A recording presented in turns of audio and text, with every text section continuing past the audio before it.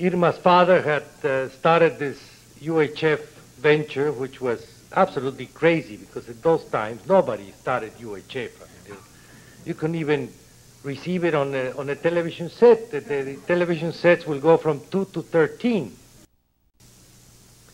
But from Emilio Nicolas and his family, he has, and I agree, a deep sense of something that I hope is not going to be lost forever, which is the sense of being an honest and human being.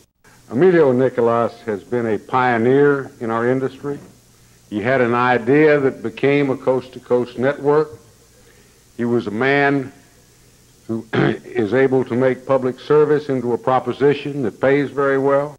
The man who has pioneered all of this is in some sense the quintessential American. Patriotic, free enterpriser, family man, energetic, good friend, loyal, and a good example to the people of our community. San Antonio is indeed lucky that Emilio Nicolas has been at work these last few years. And America is the better because his work has been so successful. Emilio, muchísimas gracias. Thank you very much.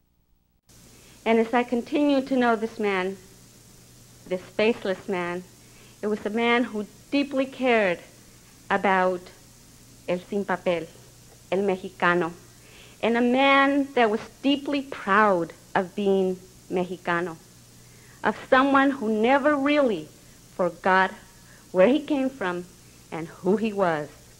And when I finally saw this giant of a man, he was so human. The dreams of great men are never fulfilled they are surpassed. And it seems to me, and it seems to Hallmark, that this is a man who had a dream about communications between people and between countries. And he enabled that dream like an eagle to soar to star-stained heights because of his vision.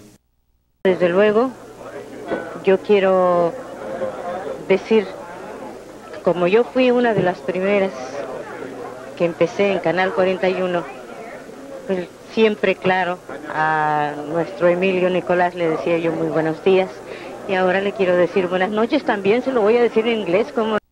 Emilio is fanatic about several things. One is his family, violently fanatic about his family. He is fanatic about Spanish broadcasting. And he is fanatic about being a Texan. This comes, Emilio, from all the employees of the company who have absolutely grown to love and respect and admire the absolutely awesome job you did. You're a giant, and it's been my honor to have you as a mentor and as an advisor.